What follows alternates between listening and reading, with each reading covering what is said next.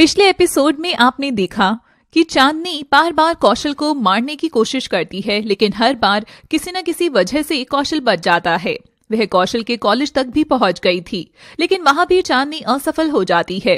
तो आखिरकार चांदनी एक सुंदर लड़की का रूप लेकर कौशल के रेस्टोरेंट में कस्टमर बनकर जाती है, जहाँ कौशल उसे देखकर बहुत खुश हो जाता है। बाद में चांदनी कौशल को डसने के लिए उसकी कार में छिप जाती है। अब आगे। कौशल कार में बैठ जाता है और बैठते ही वह डैशबोर्ड के नीचे बना एक बॉक्स खोलता है और उसमें से महादेव की एक तस्वीर निकालकर सामने रख देता है और प्रणाम करता है। हे महादेव आपका बहुत बहुत धन्यवाद। आज का मेरा दिन बहुत अच्छा रहा। नहीं ये क्या किया इसने? ढोंगी कही का हत्यारा। अब मैं महादेव के सामने किसी इंसान को डस भी नहीं सकती। तभी कौशल के पास उसके दोस्त सैम का फ़ोन आता है कॉल पर। हाय सैम हेलो, कौशल, कैसा है तू? बस आज तो क्या ही बताऊँ, बहुत ही खुश हूँ मैं आज। ओ अच्छा बताना फिर, आज ऐसा क्या हुआ है?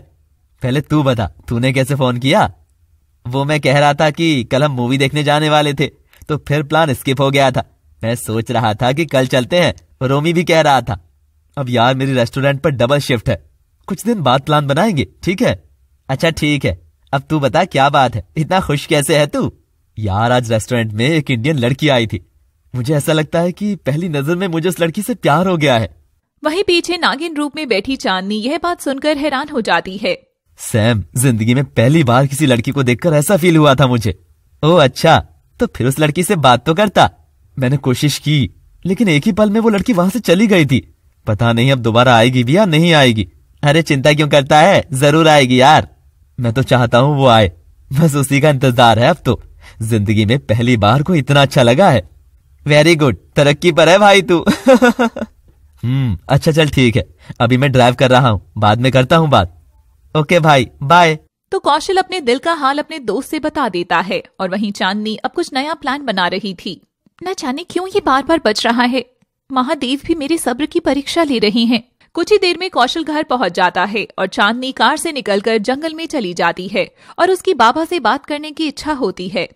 मुझे ऐसा लग रहा है कि बाबा से बात करनी चाहिए। न जाने क्यों आभास हो रहा है कि बाबा मुझसे बात करना चाहते हैं। तो चांदनी अपनी आँखें बंद करके बाबा का ध्यान करती है तभी उसे बाबा की आवाज़ सुनाई देती है। प्रणाम बाबा। पुत्री मैं कब से तुम्हारा इंतज़ार कर रहा था? हाँ बाबा। मुझे भी एहसास हुआ था कि आप मुझसे बात करना चाहते हैं। हाँ पुत्री मुझे तुमसे बहुत ज़रूरी बात करनी थी। हाँ बाबा।